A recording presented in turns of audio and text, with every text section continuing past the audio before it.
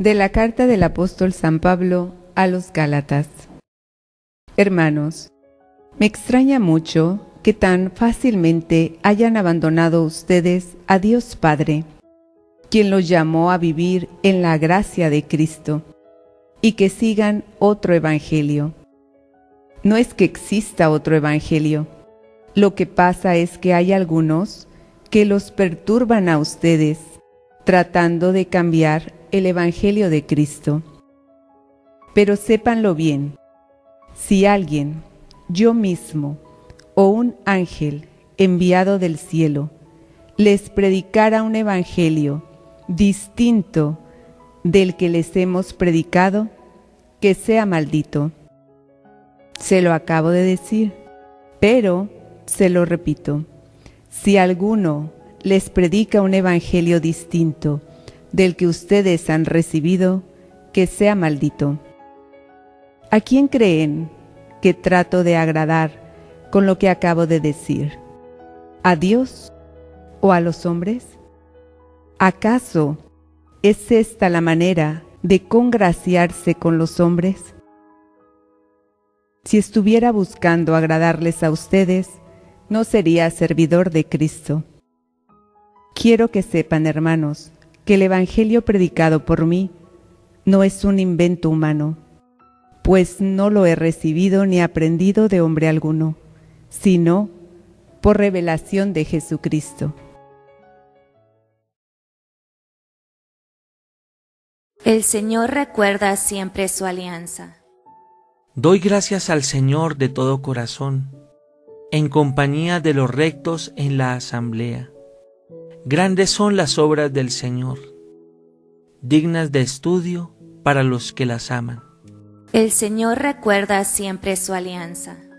Justicia y verdad son las obras de sus manos. Todos sus preceptos merecen confianza. Son estables para siempre jamás. Se han de cumplir con verdad y rectitud.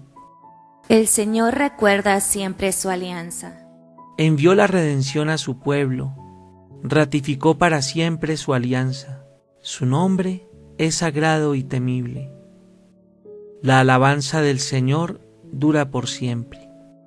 El Señor recuerda siempre su alianza. Evangelio según San Lucas. Cierto día, un experto en la ley religiosa se levantó para probar a Jesús con la siguiente pregunta. Maestro, ¿qué debo hacer para heredar la vida eterna? ¿Qué dice la ley de Moisés?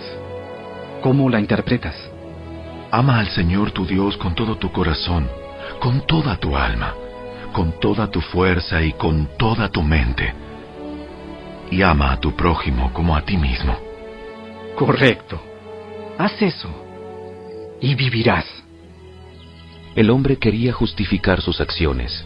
Entonces le preguntó a Jesús, ¿Y quién es mi prójimo? Jesús respondió con una historia. Un hombre judío bajaba de Jerusalén a Jericó y fue atacado por ladrones. Le quitaron la ropa, le pegaron y lo dejaron medio muerto al costado del camino. Un sacerdote pasó por allí de casualidad, pero cuando vio al hombre en el suelo, cruzó al otro lado del camino y siguió de largo. Un ayudante del templo pasó y lo vio allí tirado, pero también siguió de largo por el otro lado. Entonces pasó un samaritano despreciado y cuando vio al hombre, sintió compasión por él. Se le acercó y le alivió las heridas con vino y aceite de oliva y se las vendó.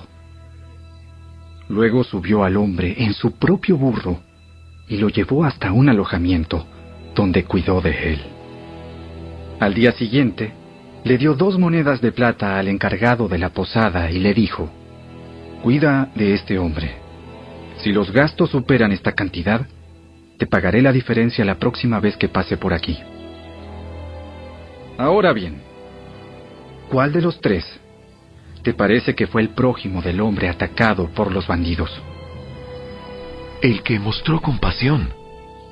Así es. Ahora ve y haz lo mismo.